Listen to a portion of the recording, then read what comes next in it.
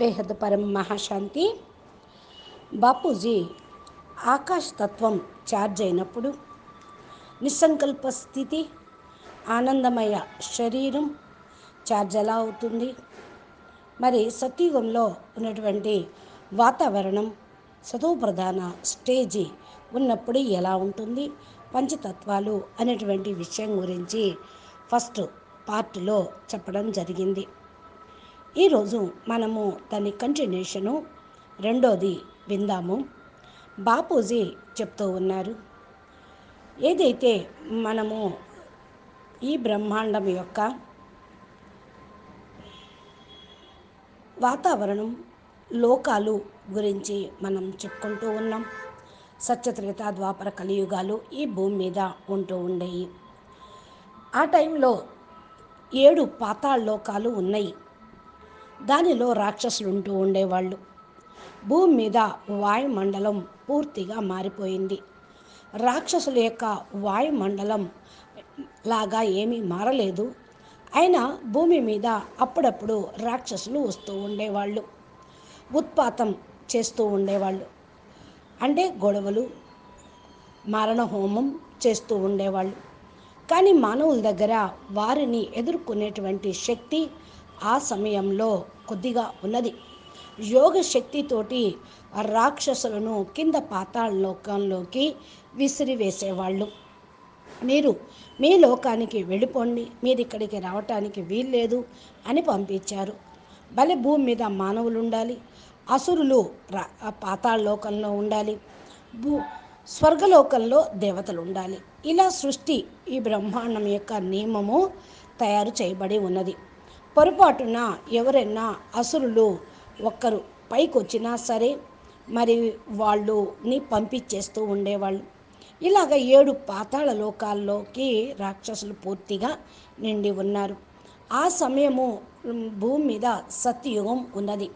విష్ణు అవతారము సత్యయుగంలో ఉన్న కారణం వల్ల అసురుల యొక్క సంహారం చేసి పారద్రోలేవారు. అందుకనే వసుంధర ఆ టైం అందులో పేరు వచ్చింది. అనగా భూమి పైన వసుంధర అనేది ఆహ్లాదకరంగా సంతోషంగా ప్రకృతి ఆనందమయంగా ఉండేది. వసుంధర అంటే సంస్కృతం వర్డు భూమి అనందరం అని అర్థం. వసుంధర అంటే ధరితి. ఏదైతే భూమి మీద సంతోషం యొక్క సుఖము సతో ప్రధాన వాయుమండలం ఉండేది. అది చక్కగా ఆనందమయ భరితంగా భూమి ఉన్నది. ఆనందమయమైనటువంటి వాతావరణాన్ని ప్రకృతిని భూమి మీద ఉన్నటువంటి మానవులు అనుభవం చేసుకుంటూ ఉండేవాళ్ళు.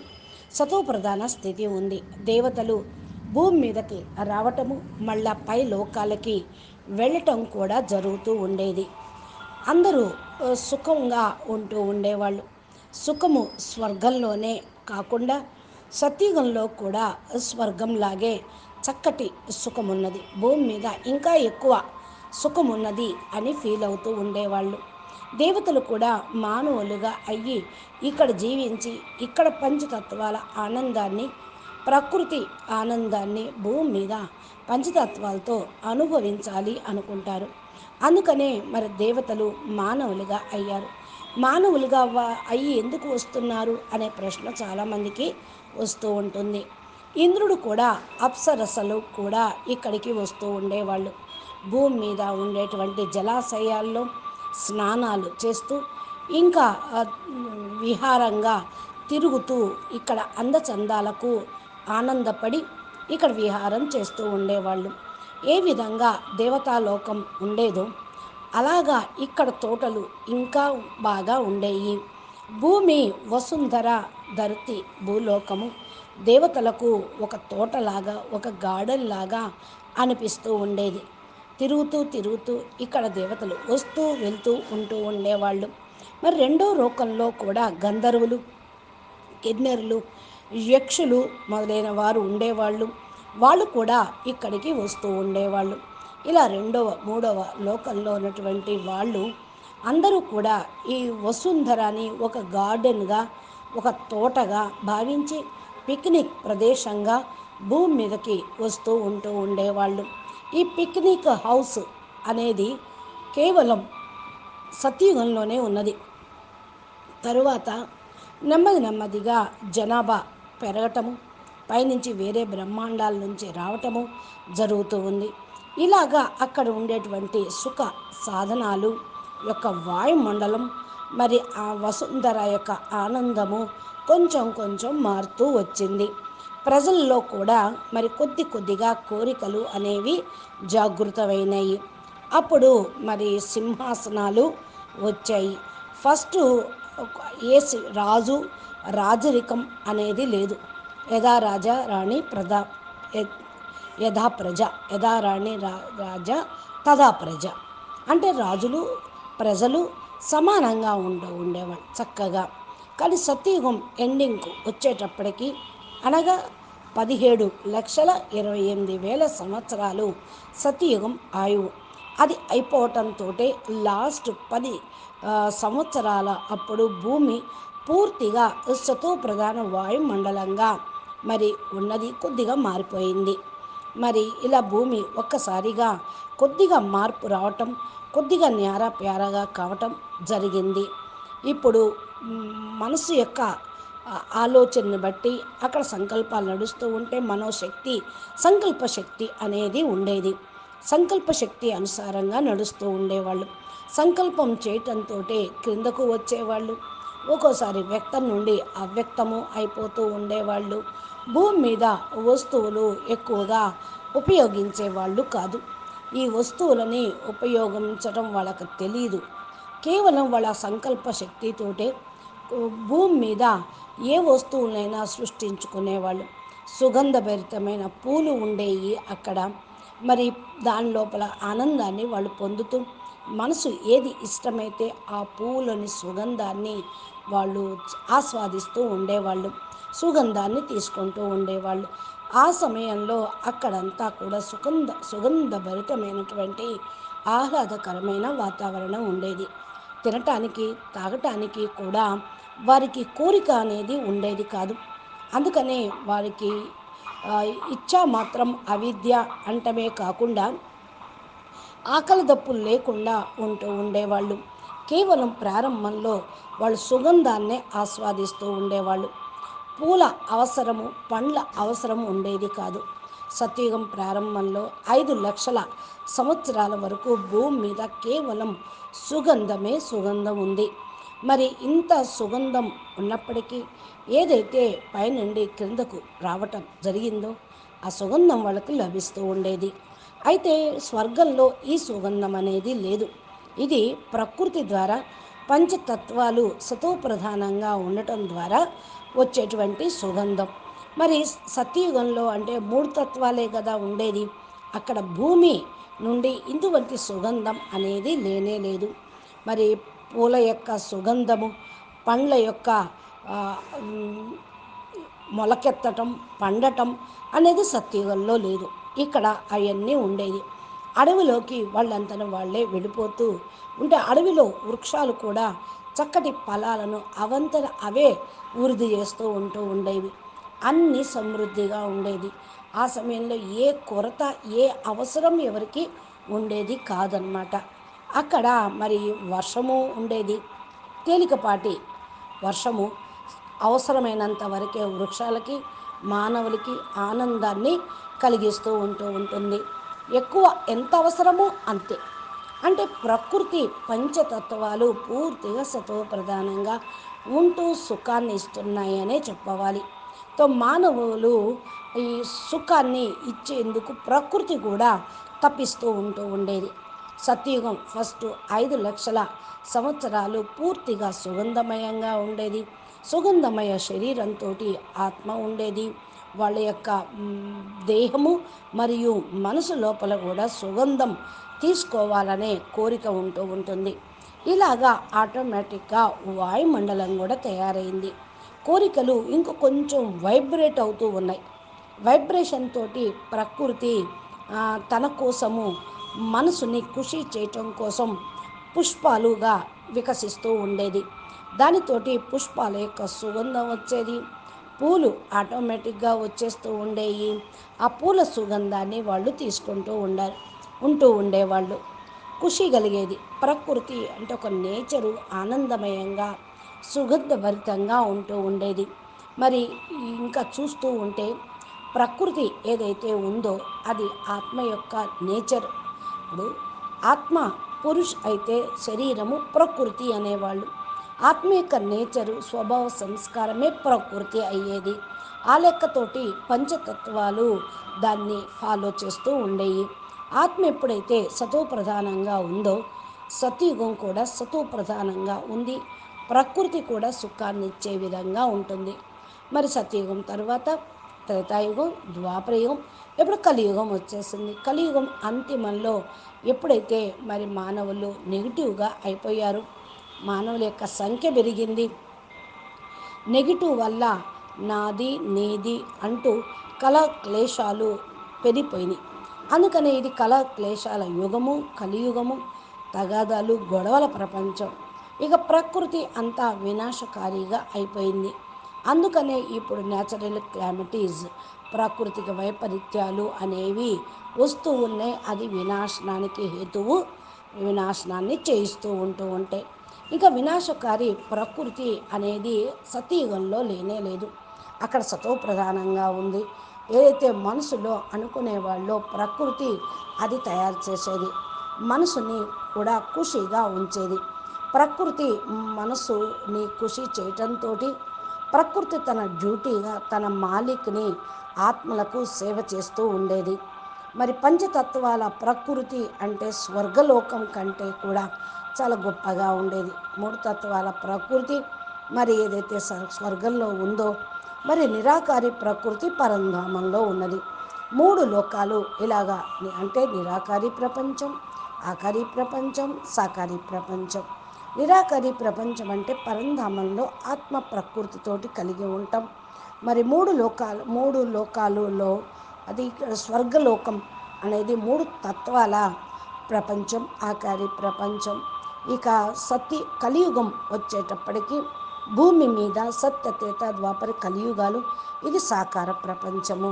భూమి మీద ఫస్ట్ సతో ప్రధానం తత్వ తర్వాత సత్వ సామాన్యము తర్వాత రజో ప్రధానము తర్వాత తమో ప్రధానము ఇకపోతే మనం ఏ విధంగా స్వర్గం నుండి పైకి వెళ్ళాము అనుకోండి భూమి మీద ఇలాగా మూడు తత్వాలు అంటే మూడు రకాలుగా ప్రకృతి మారిపోయింది. సత్వప్రధానం నుండి సత్వ సామాన్యము త్రేతాయుగంలో ద్వాపర యుగంలో రుజువు ప్రధానంగా కలియుగంలో తమో ప్రధానంగా అయింది.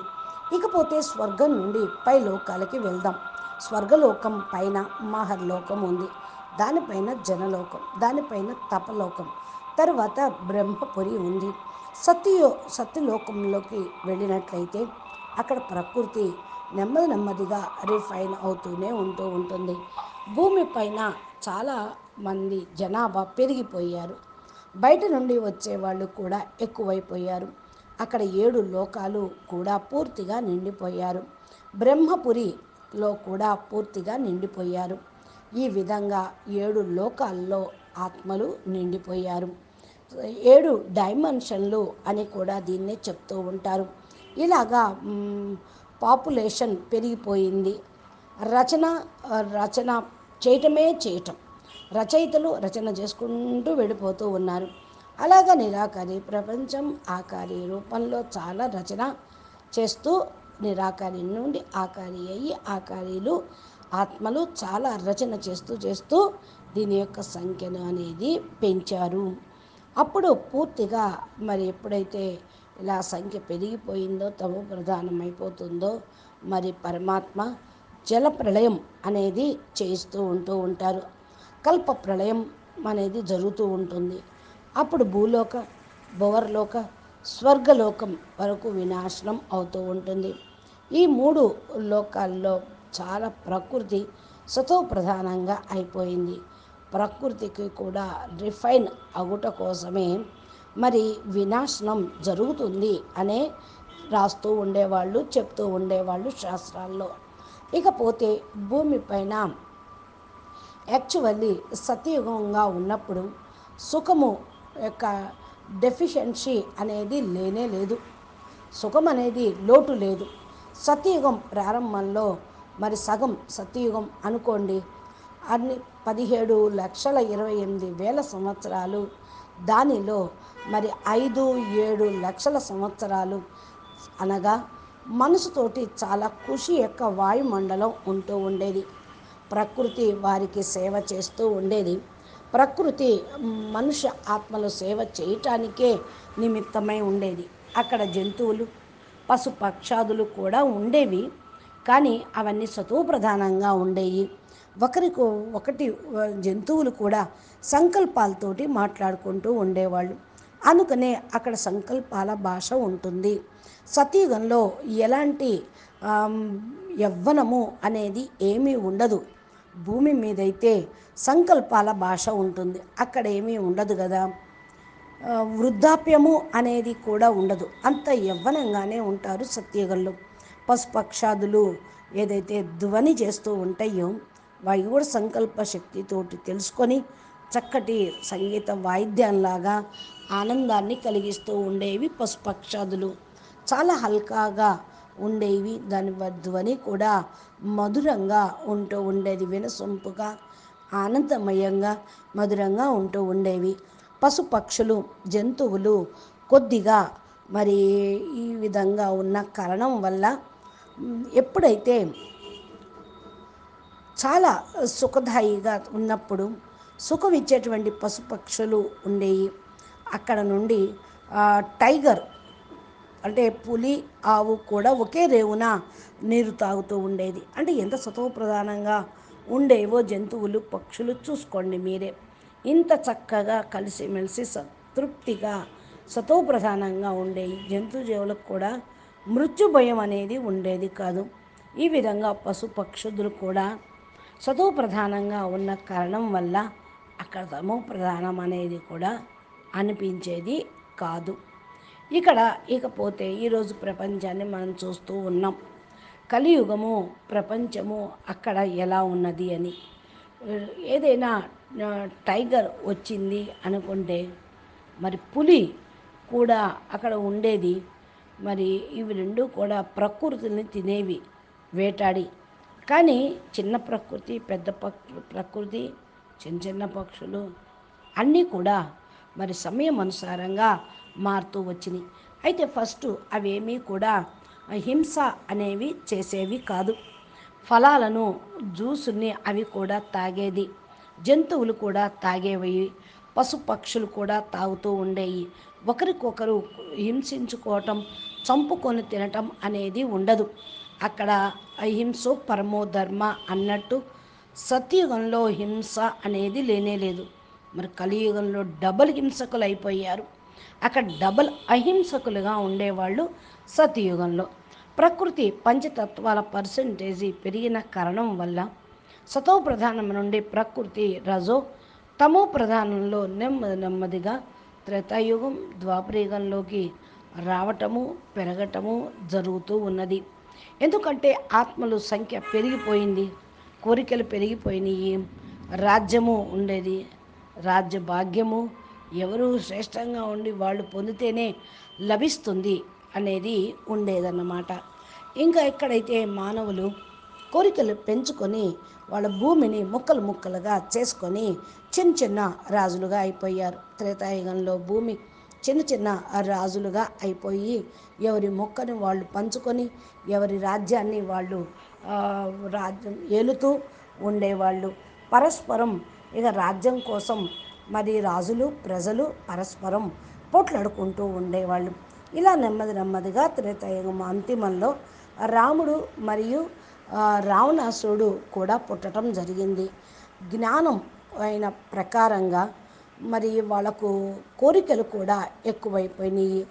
అందుకనే భోగు భోగ విలాసాల్లో మునిగిపోయేవాళ్ళు. త్రేతాయుగం మధ్యలో కొద్దిగా కోరికలు ఎక్కువైనాయి అనే చెప్పవచ్చు. కానీ మళ్ళా కోరికలు ఋషులు మునులు కూడా ఎలా ఉండేదో చూసి చెప్తూ ఉండేవాళ్ళు బాపూజీ. అందుకని ఇక వాతావరణం ఎలా మారింది? ప్రకృతి ఎలా మారింది? మన శరీరం మీద ఎలాంటి ప్రభావం చూపిస్తూ ఉంది? అని మనం తర్వాత బాపూజీ చెప్పే వీడియోలో తెలుసుకుందాము. అచ్చా పరం శాంతి నమస్తే ధన్యవాదాలు. బేహద్కే బేహద్ పరం పరం పరం. మహాశాంతి హే మహాశాంతి హే మహాశాంతి హే. నమస్తే. బాపూజీ దశరథ్ భాయ్ పటేల్ తెలుగు ఛానల్లో మూడు వేల పైన దగ్గర దగ్గరగా నాలుగు వేలు వీడియోలు ఉన్నాయి. ఈ టాపిక్ అనుసారంగా మీకు ఏదైతే వీడియోలు కావాలో వాటిని మీరు ఓపెన్ చేసుకొని వినండి. ప్లే స్టోర్లో ఉన్నాయి. మీ చా మీరు మా ఛానల్ని సబ్స్క్రైబ్ చేస్తే గంట సింబల్ని ప్రెస్ చేస్తే నోటిఫికేషన్ రూపంలో మీరు పొందవచ్చు. అచ్చా పరం శాంతి. నమస్తే. ధన్యవాదాలు.